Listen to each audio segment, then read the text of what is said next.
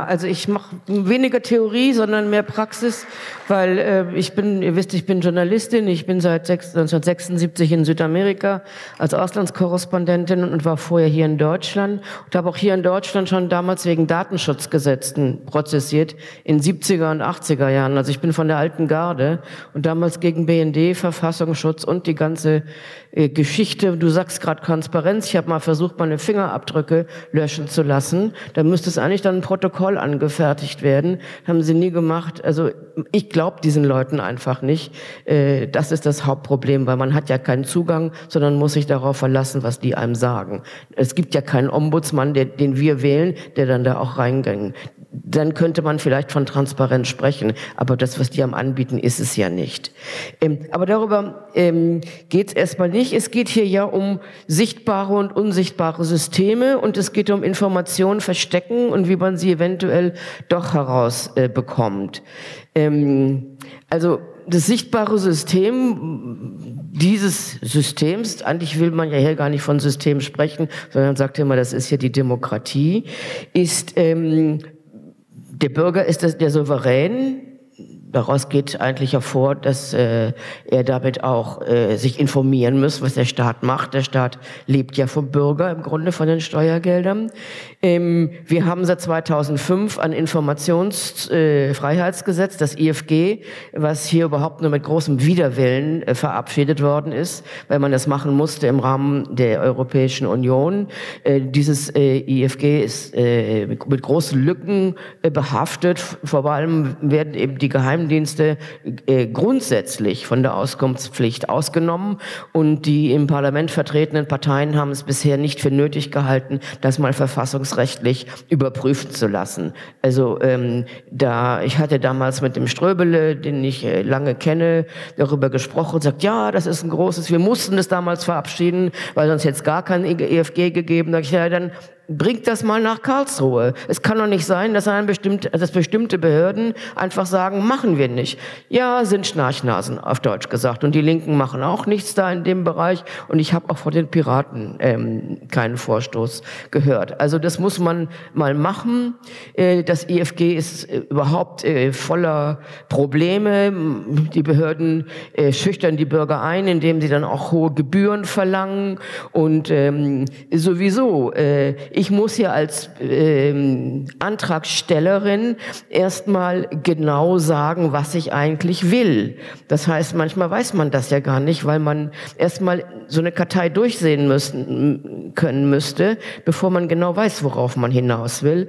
Ähm, auch dazu gibt es keinen Zugang. Also das IFG ist dringend äh, erforderlich für ein Demokratiegebot, aber auch zum Beispiel im Kampf gegen Korruption. Also wie ist ein bestimmter Auftrag vergeben worden? Äh, oder im Bereich der Energiewirtschaft, dass die Bürger einfach wissen, äh, das überprüfen zu können, äh, auch in der kommunalen Planung. Und das passiert nicht, ähm, weil das immer noch mit viel zu großen Hürden passiert ist, äh, verbunden ist. Daneben gibt es das etwas ältere Bundesarchivgesetz beziehungsweise die entsprechenden Landesarchivgesetze. Ähm, da sind die Geheimdienste zum Glück nicht ähm, ausgeschlossen, was den Geheimdiensten natürlich großen, äh, große Sorgen bereitet. Da steht nämlich drin, dass im Grunde nach 30 Jahren alle Behördenakten frei sind. Es sei denn, es liegt eine Sperrerklärung vor. Eine Sperrerklärung ist, ich sag's mal im Falle vom Bundesnachrichtendienst, ist, ähm, da ist die, Aufs die dienstaufsichtsführende Behörde das Bundeskanzleramt äh, und da muss das Bundeskanzleramt dann sagen, diese Akten können nicht rausgegeben werden, weil sonst äh, die Bundesrepublik in sich zusammenbricht. Ähm, ich habe ähm, 2008 gegen den Bundesnachrichtendienst äh, Klage erhoben. Und zwar ging es um die Akten über Adolf Eichmann. Äh, das war ein Kriegsverbrecher, von dem der Mossad behauptet, äh, ihn in einer heldenhaften Aktion aus, äh, Argentinien entführt zu haben. Das ist eine Geschichte, die hinten und vorne erlogen ist. Es stimmt alles so nicht. Ähm, aber das spielt jetzt hier keine Rolle. Äh, das war das erste Verfahren, was geführt worden ist. Ich habe den BND damals auch ziemlich kalt erwischt, weil ähm, ich habe erstmal einen Antrag gestellt in Pullach und da ich ja schon mehr, mehrfach gegen den Bundesnachrichtendienst geklagt hatte, also damals gegen das Verbrechensbekämpfungsgesetz und ähm, die kannten mich also schon und haben mir dann ganz nett zurückgeschrieben, Frau Weber, ja, wir haben die Akten, die Sie wollen. Das sind 4000 Blatt und die werden wir Ihnen nicht geben. Und ähm, das fand ich natürlich klasse, weil damit hatte ich äh, äh die, den Beweis, die haben das. Und dann haben wir, ähm, also da, der Anwalt war damals der Rainer Gollen, ähm, uns bezogen aufs Bundesarchivgesetz und haben dann geklagt. Und ähm, wir haben bis auf 100 Seiten, die nach wie vor geheim gehalten werden, mit einer Sperrerklärung vom Bundeskanzleramt im Grunde auch gewonnen, ähm, jedenfalls juristisch. Äh, Frau Merkel, also das Bundeskanzleramt, hat dann äh, äh, die Sperrerklärung damit begründet, dass der Mossad äh, eben dies so gewollt habe und da man in Zeiten von Terrorismus eben auf die Zusammenarbeit der Dienste angewiesen sei, könne, man es sich nicht erlauben, dass der Mossad äh, beleidigt sei. Äh, das ginge nicht. Und diese, diese 100 Seiten sind nach wie vor äh, geheim. Im Grunde weiß ich inzwischen aber ungefähr, was da so drin steht. Ähm, ich ähm, habe das auch alles veröffentlicht auf meiner Homepage, findet ihr darüber die Berichte. Aber wie gesagt, es geht hier um den Informationszugang.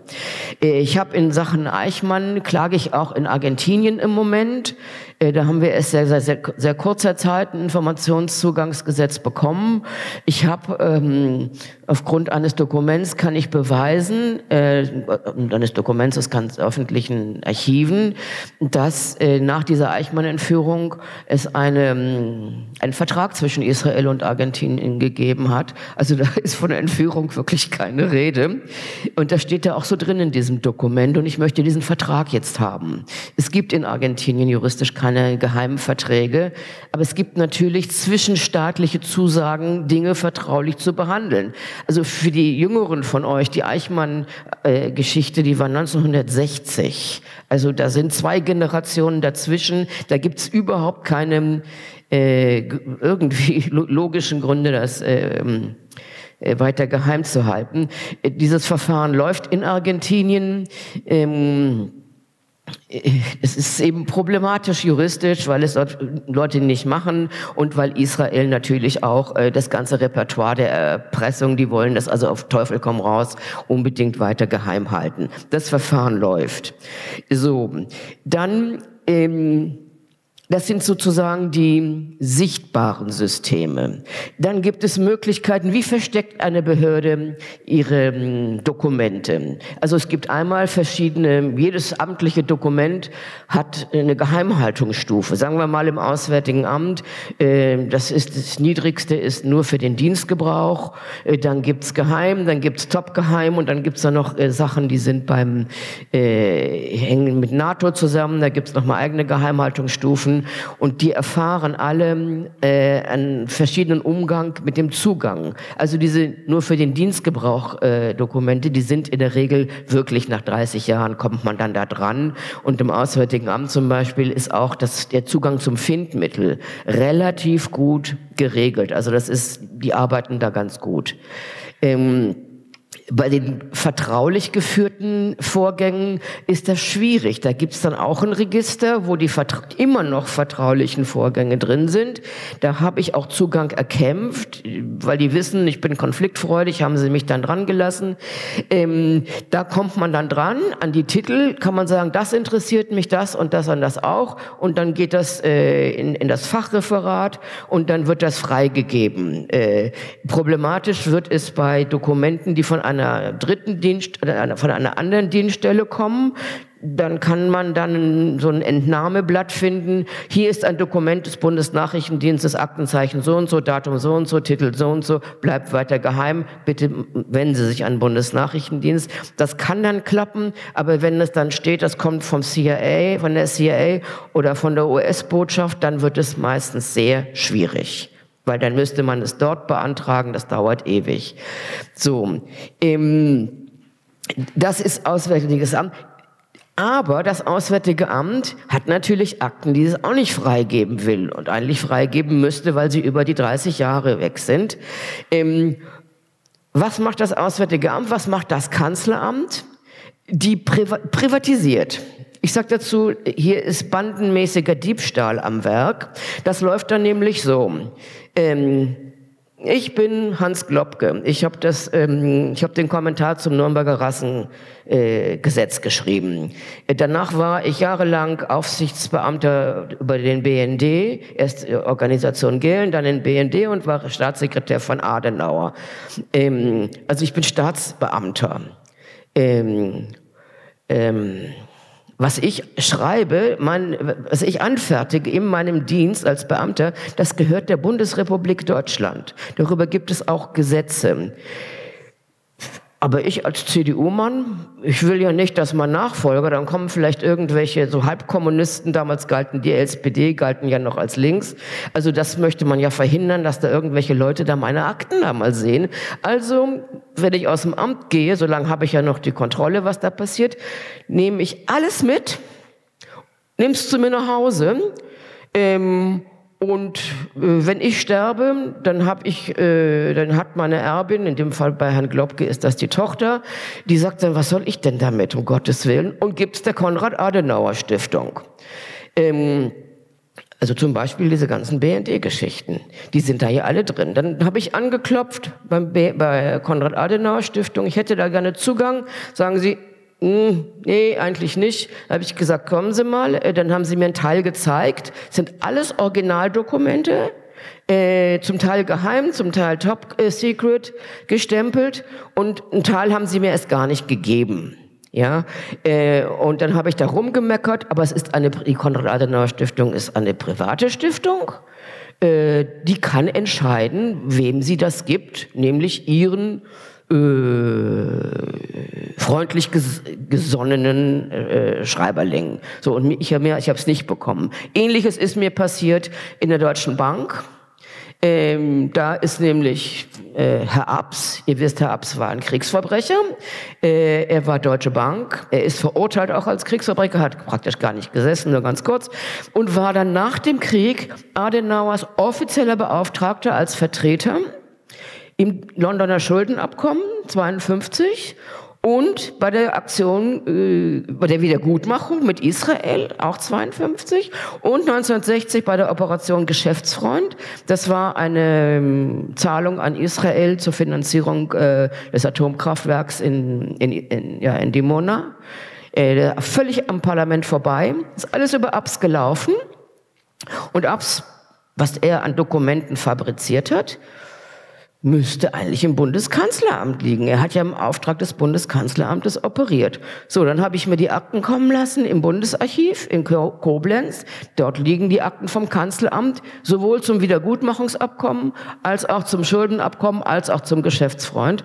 Und dann kriegt man da so, so drei Zettel oder so, ein paar Zeitungsausschnitte und mehr ist da nicht. Das hat nämlich Herr Abs auch alles mitgenommen und er wurde dann ja auch wieder bei der Deutschen Bank gern gesehen und bei der Kreditanstalt Anstalt für Wiederaufbau, staatliche Bank. Äh, und hat es dann nach seinem Tod, ist das Ganze gelandet beim Historischen Institut der Deutschen Bank. Und da habe ich auch angeklopft, hätte ich gerne Zugang. Haben sie gesagt, nee, Frau Weber, Sie gar nicht. Ähm, so, Daraufhin habe ich beim Bundesarchiv nachgefragt und habe gesagt, das finde ich ungerecht.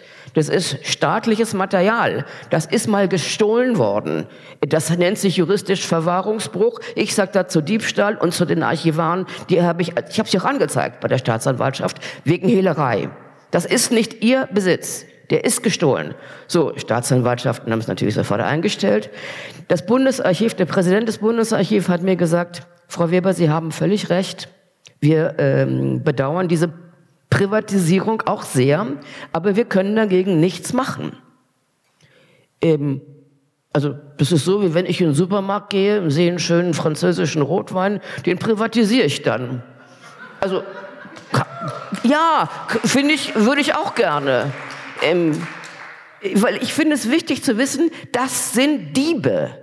Und wer das billigt, ist Komplizen von einem, von einem bandenmäßigen Diebstahl. Das ist nicht einfach irgendwie, dass da mal was passiert. Das hat nämlich auch Helmut Schmidt gemacht, der alles äh, zum deutschen Herbst, alles mit nach Hause genommen hat. Das hat auch äh, der Herr Genscher gemacht. Auch das liegt im Büro Genscher und ist privatisiert. Ähm, gut. Ähm, ich habe dann das Bundesarchiv verklagt wegen, Un äh, nicht, nicht, wegen Untätigkeit.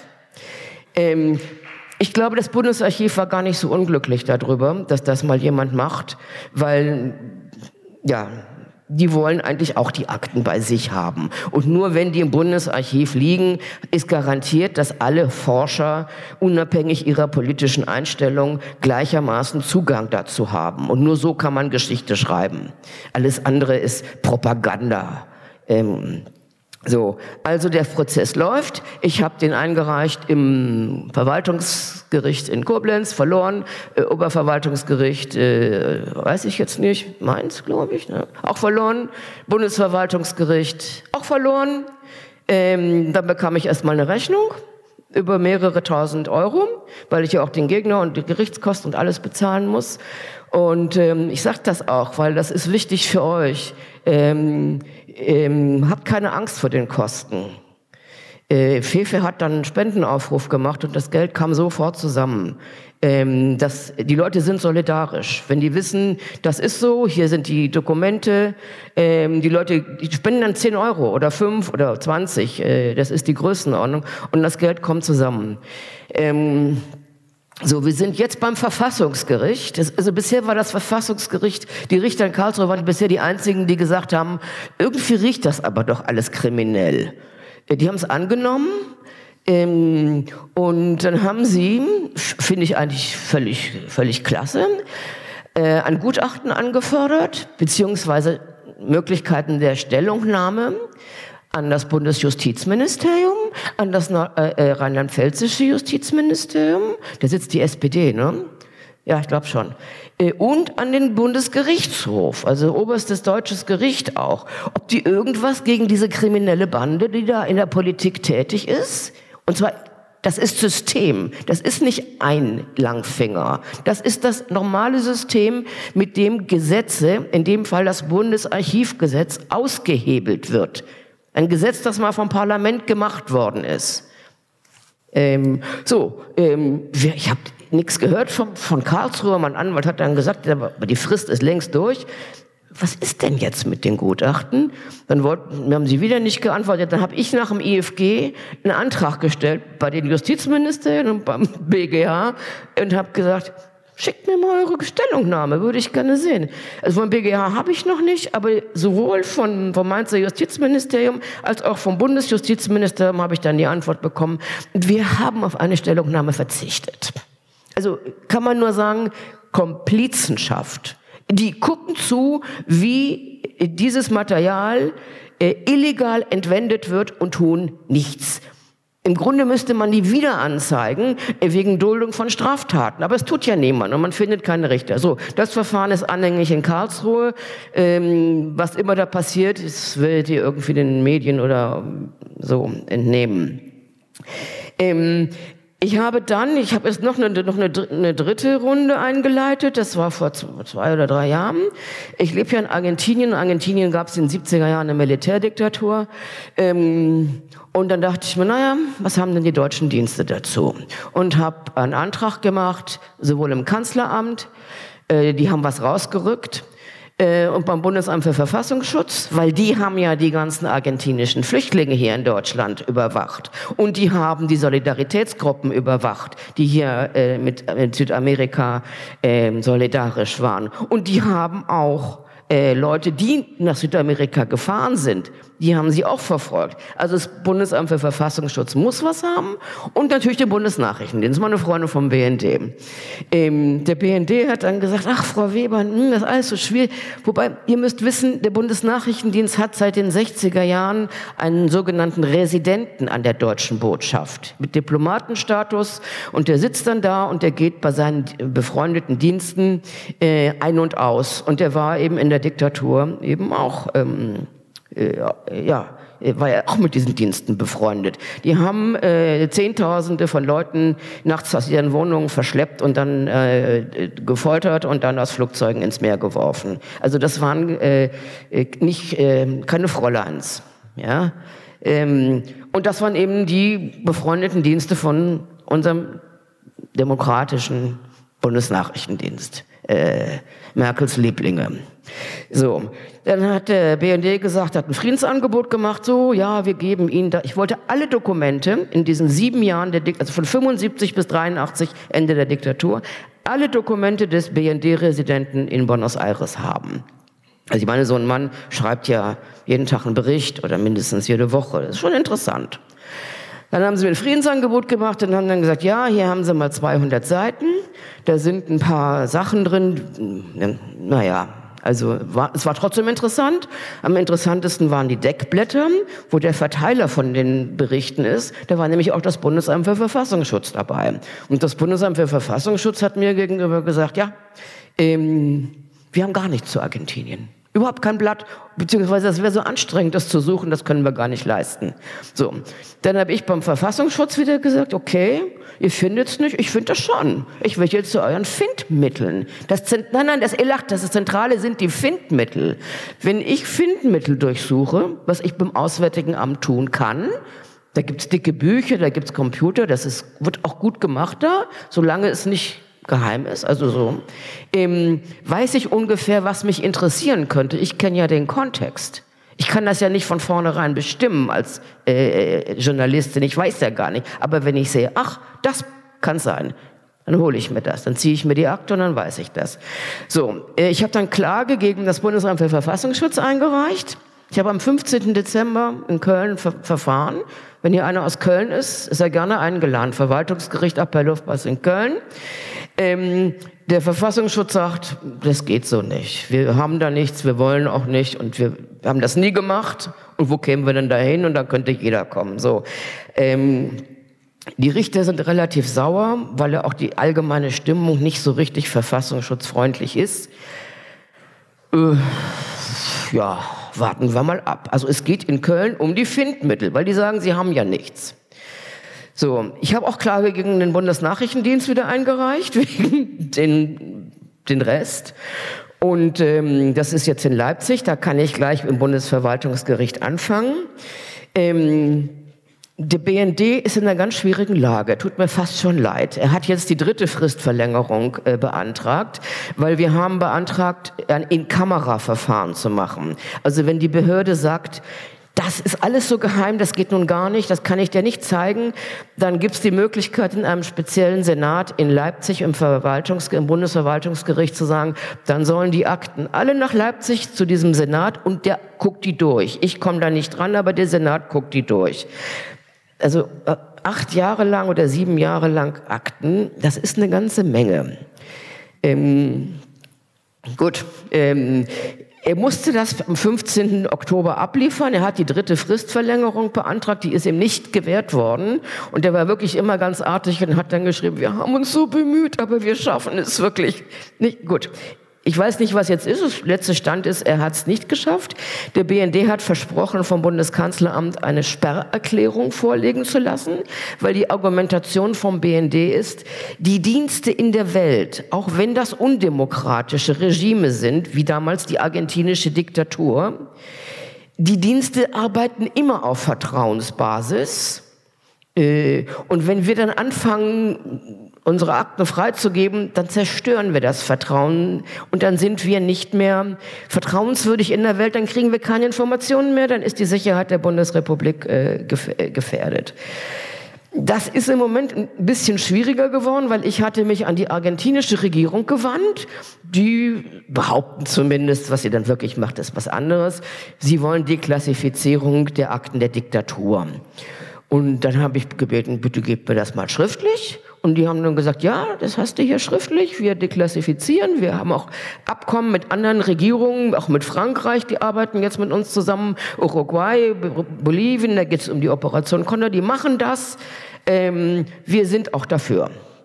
Ähm, Und das habe ich bei Gericht eingereicht und habe auch der, der netten Angela, falls der BND sie nicht richtig informiert, äh, eine Kopie davon geschickt, dass sie sich gut überlegt, ob sie eine Sperrerklärung abgibt.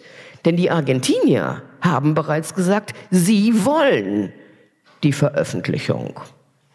Dass die Merkel nun sagt, gegen den Willen Argentiniens sind wir für die weitere Geheimhaltung, das soll sie dann mal sagen. Also Nee, das ist nun wirklich sehr unter der Gürtellinie.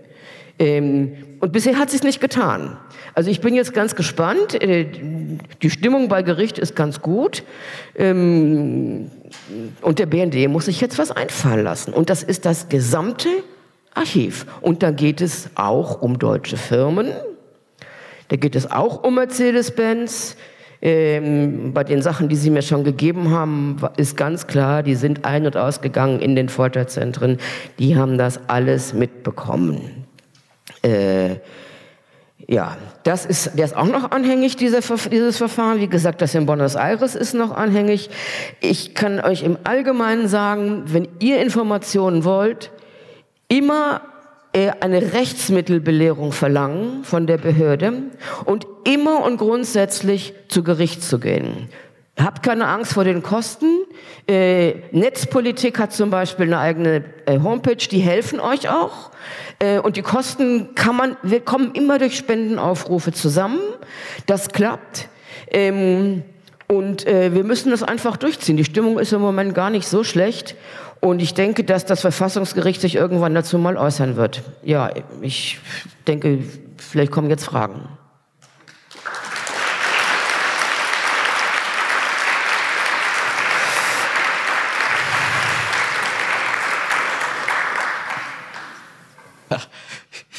Man kommt gar nicht hinterher, eine Menge Hände sind in der Luft. Also was ich jetzt aufgezählt habe, das kann man alles auf meiner Homepage nochmal nachlesen unter Prozesse. Da ist das alles nochmal mit Dokumenten auch und mit Urteilen, da ist das alles nochmal. Kann es nicht sein, dass äh, bei den, äh, dass Sie sagen, das ist staatstragend und das ist staatlich, da können wir nichts drüber sagen. Ist denn nicht auch die Möglichkeit gegeben, dass sich manche Leute da ziemlich reich verdient haben und das wird dann auch geheim äh, erklärt, ja, wer jetzt wie viel an Schmiere oder sowas bekommen hat.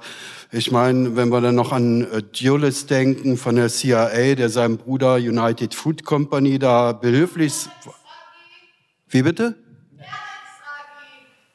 Ja, äh, ich wollte nur sagen, das mit Alan Dulles ist mir aufgestoßen. Ist es nicht so, ist es nicht so, dass, äh, dass äh, Korruption damit auch verdeckt wird, dass das also vermischt wird, dass es nicht wirklich um, äh, um das Gemeinwohl, die Völkerfreundschaft geht, sondern dass sich dort auch Leute, die korrupt sind, die sich fett bedient haben, das einfach als geheim erklären?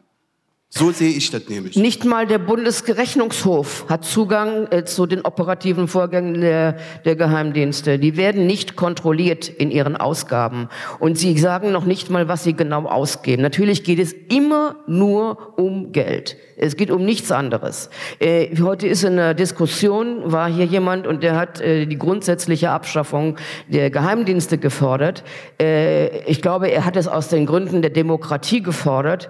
Das ist ein, ein äh, Aspekt, den ich teile. Aber es gibt noch einen ganz anderen Aspekt.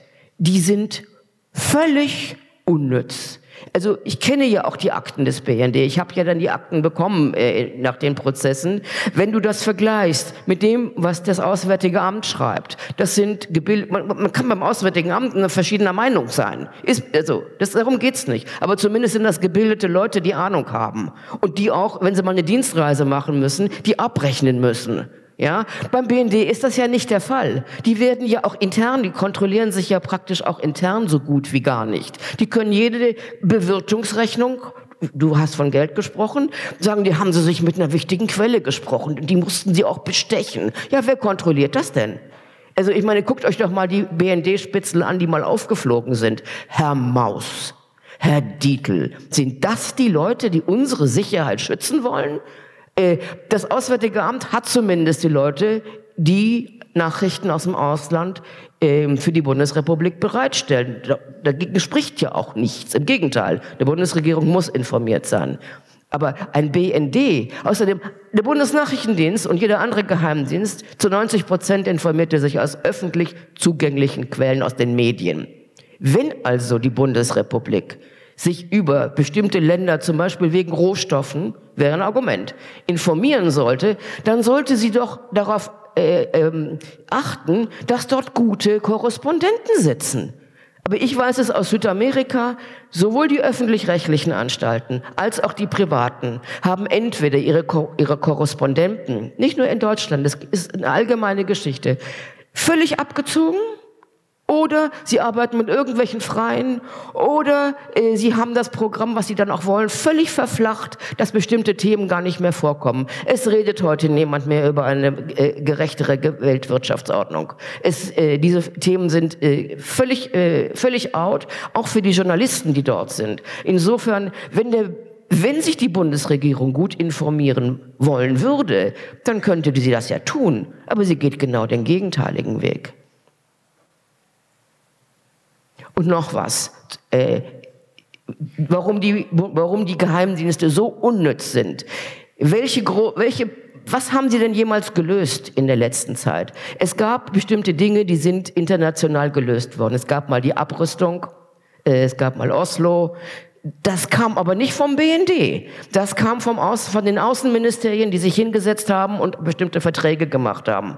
So, und dann gab's die äh, Verträge und plötzlich äh, gingen in, äh, auch im Osten, ich meine, das betrifft auch die östlichen Geheimdienste, ähm, in Kasernen, wo du vorher, wurdest du verhaftet, wenn du noch die Panzer gezählt hattest. Plötzlich mussten sie die Tore aufmachen und es kamen die Leute von der CIA mit der Kamera rein. Ja, und das war ein guter Prozess, weil der endete in einer realen, zumindest vorübergehend, Abrüstung. Ein anderes Problem, die deutsch-französische Wiederfreundschaft. Äh, ist ein wichtiges Problem, weil für viele Generationen war das der Erbfeind.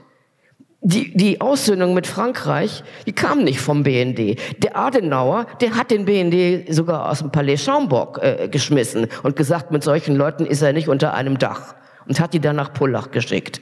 Das war eine Geschichte, die auf der Politikebene gelaufen ist. Also alle großen Probleme, die wir haben, die werden entweder politisch gelöst oder sie werden gar nicht gelöst. Der, der BND macht nur noch mehr Probleme, weil er Dinge tut, weil er meint, er könne die tun, weil er darüber keine Rechenschaft ablegen muss, weil er geheim bleibt, ähm, die das Problem noch verschärfen.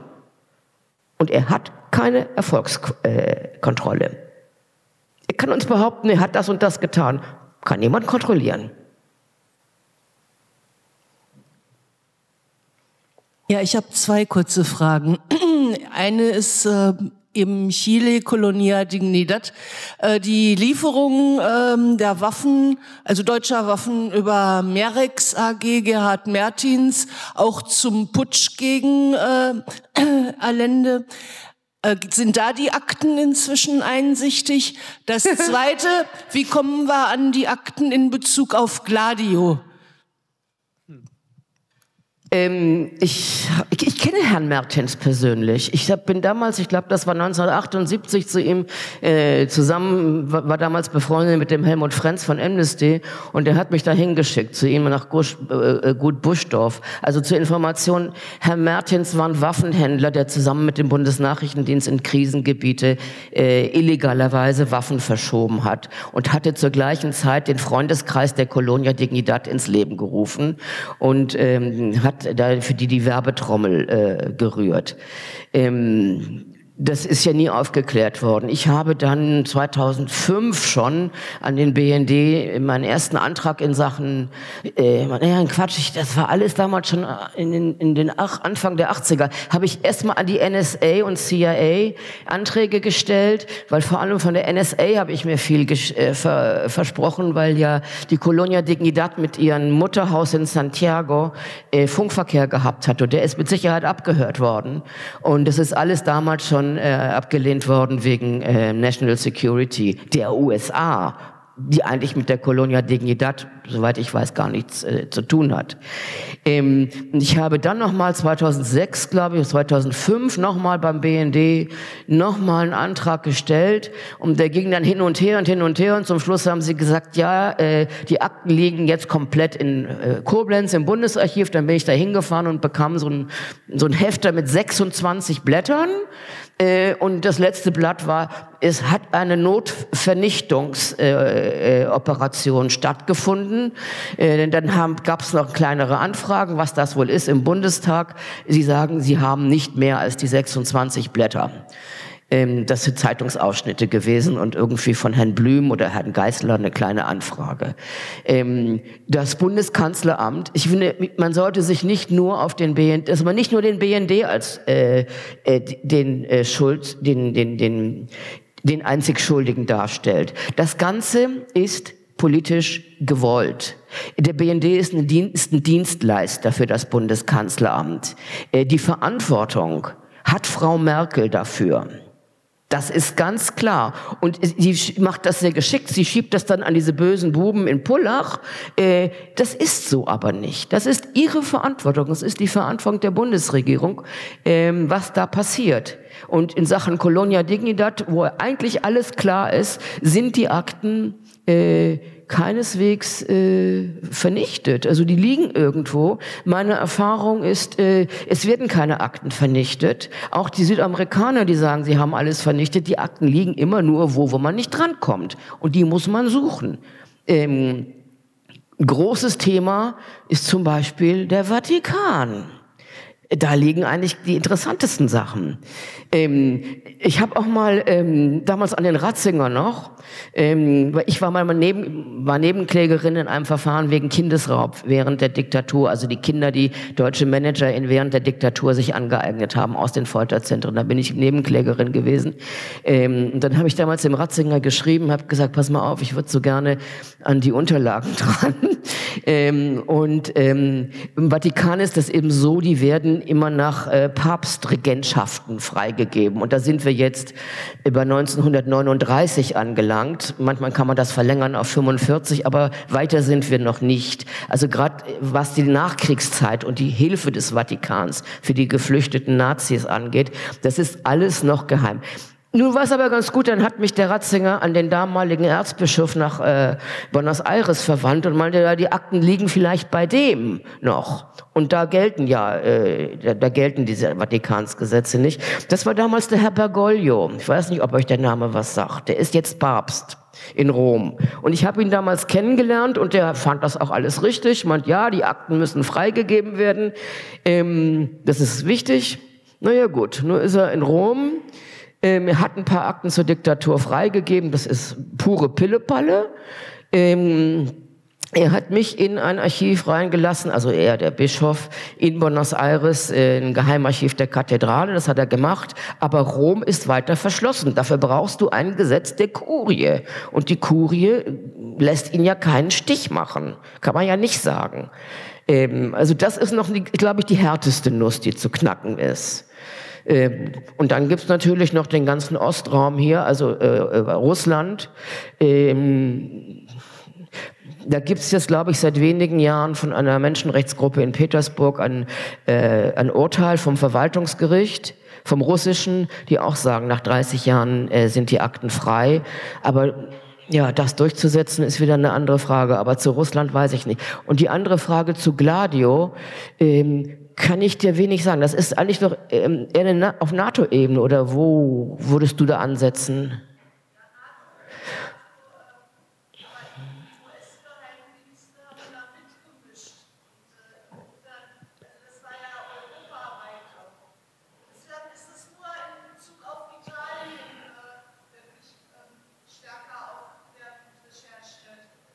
Da hat der Daniele Ganser, glaube ich, ein sehr gutes Buch drüber geschrieben.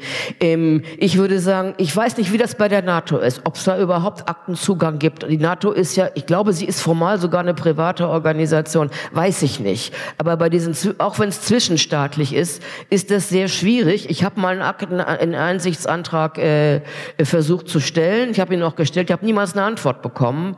Ich glaube, das ist noch mal schwieriger. Ansonsten kannst du dich ans äh, Verteidigungsministerium wenden Washington, also, also an das Bundesarchiv NARA in Washington oder an, direkt noch an das Pentagon äh, und kannst dort versuchen, was zu machen. Ähm, ich halte das für schwierig, weil, wie gesagt, das ist eben bei diesen zwischenstaatlichen Sachen, das ist ja bei Eichmann auch so. Eichmann war eine Geschichte zwischen Argentinien, Israel und USA im USA-Pentagon, weil die haben nämlich zur selben Zeit, haben sie nämlich illegale Nuklearversuche gemacht in Argentinien. Und es gibt keine geheimen Verträge zwischen Staaten, aber es gibt diese geheim, diese Zusicherung, dass wir das äh, geheim halten. So, wie kommt man da dran? Ich weiß es nicht. Ich versuche es jetzt in Argentinien. Für mich sind das Mafia-Methoden. Weil es kann in einer Demokratie nicht sein, dass die Bürger nicht wissen, welche Verträge ihre Regierung mit anderen Staaten abschließen. Schon gar nicht, wenn das über 50 Jahre zurückliegt. Und schon gar nicht, wenn das mit Nazi-Kriegsverbrechen zu tun hat. Also das geht eigentlich nicht. Das sind Mafia-Methoden. Aber ich weiß jetzt in dem Fall auch nicht, also ich versuche das jetzt, aber ähm, die werden sagen, das Dokument finden wir nicht. Oder die vorige Regierung hat's gestohlen oder ich weiß es nicht. Das Hauptproblem ist bei der Sache Eichmann, was ich habe, ist, dass es keinen öffentlichen Druck gibt, weil das Ganze so eine unschöne Geschichte ist. Also weil das für Israel auch so wichtig ist und sich mit Israel eigentlich auch niemand anlegen will. Das ist ein Problem. Guck mal, die ganzen Verfahren, die ich damals gemacht habe, ich habe ja versucht, auch damals äh, bei den Grünen, bei der Linken, überall vielleicht auch, äh, dass sie das unterstützen oder zumindest publizistisch mal unterstützen. Äh, das kannst du alles vergessen.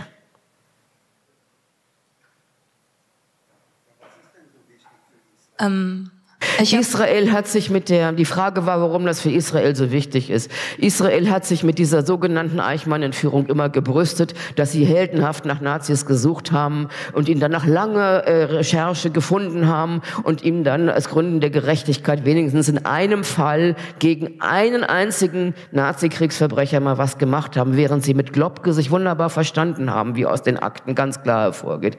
Weißt du, ich, ich wohne, wie gesagt, seit 30 Jahren in Südamerika Wo die deutschen Nazis gewohnt haben. Das wusste wirklich jeder. Die haben ihre Kinder unter ihrem Namen in die Schule geschickt. Sowohl die Mengele-Kinder als auch die Eichmann-Kinder waren Eichmann. Sowohl im Stadtviertel wie auch äh, auf der Schule. Und das wusste auch die deutsche Botschaft, auch wenn sie das heute nicht zugeben will. Das wussten alle. Herr Mengele hat noch 56 auf seinen eigenen Namen einen Reisepass bekommen von der deutschen Botschaft. Und diese ganze Geschichte von, äh, von der heldenhaften Suche ist von vorne bis hinten der freien Fantasie des Mossad-Chefs äh, entfleucht. Seine eigenen Akten hat er ja nie freigegeben. Die Mossad-Akten sind bis heute geheim. Ähm, ich habe eine kleine Frage zum Bundesarchivgesetz. Und zwar, Sie haben gerade erwähnt, dass äh, der BND zum Beispiel ganz unglücklich darüber ist, dass jetzt nach 30 Jahren auch deren Dokumente ähm, öffentlich werden. Ich meine aber gestern gelernt zu haben, dass da jetzt auch eine Reform stattfindet und der, der demnächst ausgeschlossen ist und ähm, da gar nichts mehr offengelegt wird. Ja, das wollen sie. Aber es ist, glaube ich, noch nicht durch, soweit ich weiß. Ja, das wollen sie gerne haben. Sie wollen das, was sie im, im IFG haben, wollen sie gerne im, ähm, äh, auf, auf, im Bundesarchivgesetz auch festschreiben. Und man kann ja nicht sagen, dass zum Beispiel die deutschen Journalistenverbände äh, oder die deutschen Parteien da irgendwie größeren Druck machen. Es läuft ja unter ferner Liefen, beziehungsweise es läuft gar nicht. Ja, äh, zu den Gerichten nochmal. Du sagst, da läuft jetzt was beim Bundesverfassungsgericht. Ich hatte bis vor drei oder vier Jahren auch noch äh, Hoffnung auf äh, das Bundesverfassungsgericht. Ähm, bin da leider an den ersten Senat gekommen. Der zweite soll ein bisschen ähm, liberaler sein, aber ähm, da muss man natürlich auch, darf man nicht vergessen, dass es auch ein politisches Gericht ist, das heißt, wird von, von Politikern letztlich bestimmt. Die äh, Unabhängigkeit der Justiz, die eigentlich im vorderen Teil des Grundgesetzes garantiert ist, die Unabhängigkeit von Exekutive, die wird im hinteren Teil des Grundgesetzes ja wieder zurückgenommen. Das heißt, die Richterwahlausschüsse werden ja politisch zusammengesetzt. Und ähm, was ich dazu sagen wollte, ist, äh, da kann ich dir nur viel Glück wünschen. Das ist so im Prinzip nach der Statistik kriegen nur ein Prozent der Bürger, die beim, die sich ans Bundesverfassungsgericht wenden, dort auch äh, Recht. Das heißt also 99 Prozent der Bürger sind wahrscheinlich mm, äh, blöd oder so oder die sehen das nicht richtig. Das ist eine Erfolgsquote, die eigentlich zeigt auch schon, dass dort nicht alles mit rechten Dingen zugeht. Ähm, und dann wollte ich noch was ähm, äh, sagen zu den, zu den Geheimdiensten. Es gibt ja zwei Hauptargumente, mit denen sich Geheimdienste immer wieder verteidigen. Das einmal der Kampf gegen den Terror und das zweite ist, ja, die anderen Länder machen es ja genauso und so. Das sind diese zwei Hilfsargumente. Das erste Argument mit dem Terror äh, kann man entkräften, weil man, wenn man nachweist, und man kann das ja auch nachweisen, dass Geheimdienste an der Entstehung des Terrors ja selber unwahrscheinlich großen Anteil haben und ähm, dass sie auch schützen, Terrorgruppen, dass sie die infiltrieren und so weiter, dass sie mehr wissen, als sie vorgeben. Ja, die Frage ist eigentlich, ähm, wie können wir was dagegen machen? Mein Ansatz ist, man wird versuchen müssen, mit Volksentscheiden was zu machen. Parlamentarisch läuft da sehr wenig, weil die Parlamentarier auch äh, äh mehr oder weniger Zwängen ausgeliefert sind, die, die, sie, die ihnen das Gewissen rauben. Und äh, meiner Meinung nach geht es nur mit, äh, mit Volksentscheiden erstmal auf Landesebene. Es gibt ja auf Bundesebene da auch zwei gegenläufige Entwicklungen. Einerseits sogar die CSU, die jetzt Volksentscheide auf Bundesebene will. Und auch von der Linken her versucht man das ja auch. Ähm, aber auch auf Landesebene könnte man viel machen. Man kann dort äh, Initiativen, Bundesratsinitiativen per Volksentscheid beschließen, dass man sagt, die, BN, die äh, Nachrichtendienste müssen auf legale, wirklich auf legale und menschenrechtskonforme Arbeitsweise verpflichtet werden, und zwar international. Wenn das nämlich für alle gilt, dann zählt dieses Argument, ja, die anderen sind ja auch kriminell, dann dürfen wir auch, haben wir auch die Lizenz zum Töten, die Lizenz zum äh, Morden, zu Terror, das, das kann man ihnen dann entziehen. Also es waren jetzt mehrere Sachen. Zum Verfassungsgericht, ja, es ist richtig. Normalerweise äh, macht man dort den Antrag und wird abgelehnt und muss sogar noch eine Strafgebühr von 500 Euro bezahlen wegen Missbrauch des höchsten Gerichts. Ähm, okay, äh, haben Sie bei mir jetzt nicht gemacht. Ich äh, Hoffnung stirbt zuletzt. Ähm, Terror. Ich äh, finde, wir sollten nicht nur moralisch äh, dis diskutieren, weil da verlieren wir nämlich. Da kriegst du keinen Volksentscheid leider mit durch. Das ist die Erfahrung.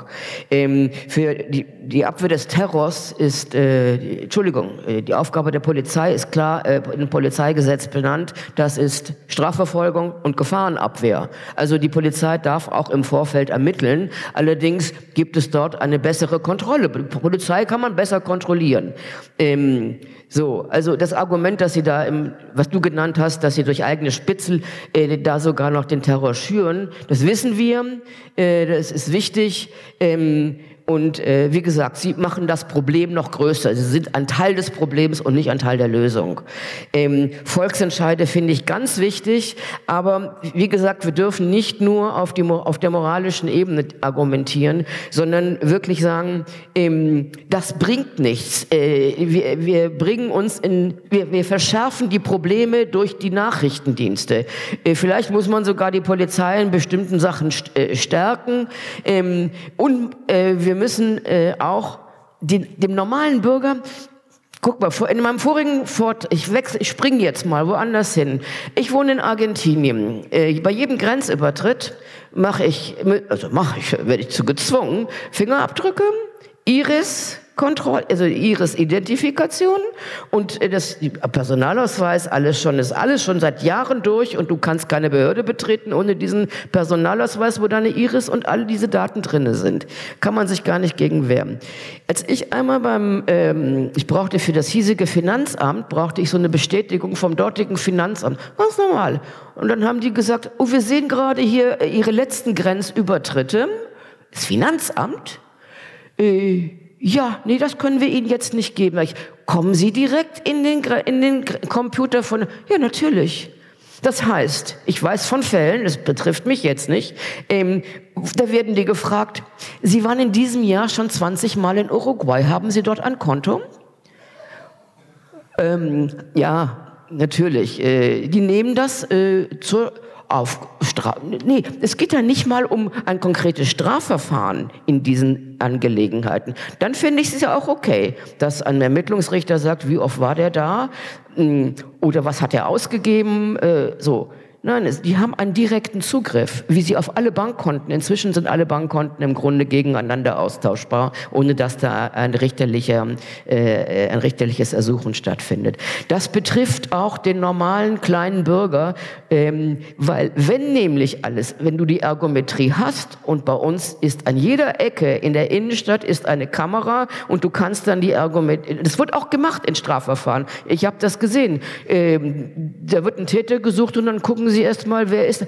Ähm, du kannst das alles ganz klar äh, ähm, hinterher dann äh, herausfinden und der normale Bürger, der vielleicht nur mal äh, vielleicht mal äh, irgendwie was am Finanzamt vorbeimachen will, der wird, wenn das so weitergeht und wenn die diese Datenmengen dann auch gegeneinander abgleichen können und das ist eine Frage der Zeit, und der Geräte, die sie dann anschaffen, ähm, der wird sich damit dann konfrontieren äh, lassen müssen. Dass, er, dass, alle, dass das Finanzamt über alle Schritte zum Beispiel informiert ist. Tja. Also wie gesagt, Volksentscheid ist unbedingt wichtig, aber nicht nur eine moralische Argumentation. Ah, hallo, hier. Ähm, Erstmal vielen, vielen, vielen Dank für diesen sehr lebhaften und total spannenden Vortrag.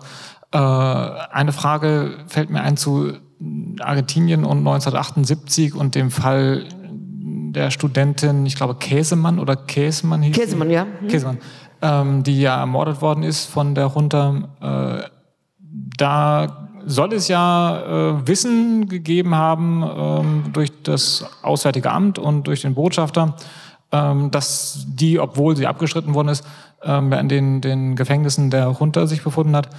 Gibt es da jetzt neue Informationen oder hast du da etwas zu sagen können? Ich weiß nicht jetzt, wie der letzte Stand war. Ähm, ich habe nur irgendwann mal eine Reportage vor länger, längerer Zeit gesehen und das war alles so ähm, nur, naja, schmierig klang es und ähm, aber es wurde alles von offizieller Seite abgestritten, soweit ich das so weiß. Kannst du da etwas zu sagen? Ja, aber die Akten sind ja nicht komplett äh, offen. Das ist ja leider nicht der Fall. Äh, wie gesagt, Herr Genscher hat ja auch die Sachen mit nach Hause genommen und gestohlen damit. Und das Auswärtige Amt, ich habe das Auswärtige Amt jetzt wieder aufgefordert, äh, auch da geht es um eine Sieb äh, Sache der 70er Jahre, wenn die Akten nicht bei Ihnen sind und wenn die ein Beamter mitgenommen hat, was haben Sie unternommen, um die Akten wiederzubekommen? Wenn nämlich nichts unternommen wurde, dann haben Sie das geduldet oder sogar dazu aufgefordert. Weiß man's? Ich weiß es nicht. Nein, die Akten sind zum Teil immer noch geheim. Ich habe damals den Fall vor kurzem in den Zieschank äh, recherchiert. Da hat dann das, es war auch so ein Student aus München, der war hier ganz wichtig in der Solidarität mit Argentinien und äh, der ist auch äh, verschwunden. Und äh, der hat dann das Kanzleramt, ein Kassiber freigegeben nach, ja, nach eben diesen ganzen Jahren. Jetzt vor einem Jahr. Ähm, und äh, da steht dann eben auch drin ein Kommentar, Kopie davon bitte an Bundesamt für Verfassungsschutz und Bundesnachrichtendienst von diesem Kassiber, weil er nämlich auch bestimmte Organisationen äh, genannt hat. Er hat seinen, ähm, seinen Leuten, seinen Freunden in München gesagt, wendet euch an die Studentenorganisation so und so, wendet euch an, an diese Organisation, also alles legalisch, wie der, wie der AStA damit die das auswerten können. Nicht damit sie dem äh, illegal festgehaltenen, in der Folterhaft festgehaltenen Verhafteten helfen können. Nee, damit da die Dienste auch noch ähm, ein bisschen Informationen raussaugen können. Das ist die Realität.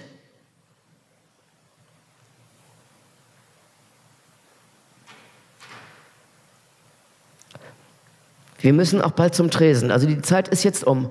Zeit, es ist eine Punktlandung. Vielen Dank, Gabi Weber. Das ist ein guter Schlusswort.